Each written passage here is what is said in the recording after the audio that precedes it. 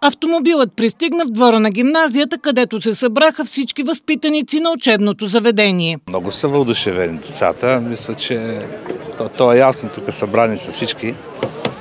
И мисля, че ще карат с голямо удоволствие на този автомобил. За покупката на учебната кола е била обявена обществена поръчка. Смятаме, че много ще отговаря на нашите съвременни изисквания за качествено обучение и образование на нашите ученици. Избрахме такъв автомобил, който да бъде малко по-високо проходим за нашия регион тук, за, понеже е, нашия регион е стръмен, да имаме стръмни наклони и а, да може да преодолява такива препятствия по-големи и в същото време да бъде по-здрав и по-устойчив. Нали? Затова избрахме да бъде 4 по 4, малко по-висок. Новият автомобил е част от проекта за изграждане на Център за високи постижения в училището.